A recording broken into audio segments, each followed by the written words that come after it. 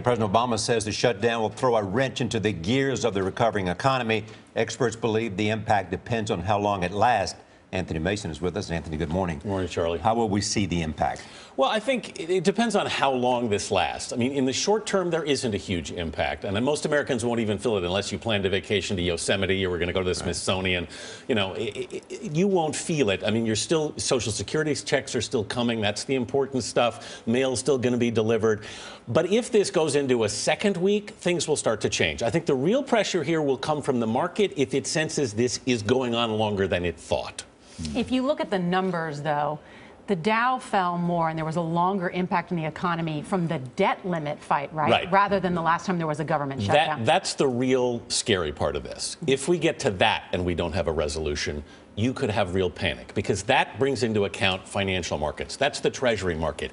If for some reason we don't start paying our bills, then you know what? The whole treasury market seizes up, and that's what the whole world functions on. and when is that going to happen? That's in the middle of the month on the 17th, and uh, that's when we essentially run out of money. There's some there's some wiggle room in there, but the real scary part of this, what Wall Street is afraid of, is if we don't extend the debt ceiling, then you could have real chaos in Treasury markets.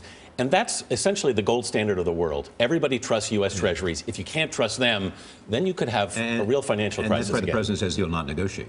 He says he won't negotiate. But, you know, I mean, look, we've been driving along this cliff road now a number of times. I, I think I think what's happened is Wall Street is thinking, you know, okay, we know how to, dri- we know where this road goes. It doesn't mean there's still not a risk. It doesn't mean you could still couldn't go over the side. It's really scary if we get to that debt ceiling limit and we don't extend. I do feel, though, that we've heard this song before. So as we sit here today, what should we be worried about? The average American, as you're sitting at home watching us, what do I need to be concerned about? Well, I, what, what I'm concerned about is what's the ultimate what's the ultimate game plan from a certain element of the Republicans in Congress because because it's not clear whether they're just sort of playing with this one week shutdown of the government or they're looking for something bigger because everybody's looking at this is the first battle in a wider war mm-hmm. and the the real war is the debt ceiling and that's the scariest part of the whole thing economically. The real question, the credibility of the United States. Exactly. And if that comes into doubt, then you could cause chaos in financial markets around the entire world.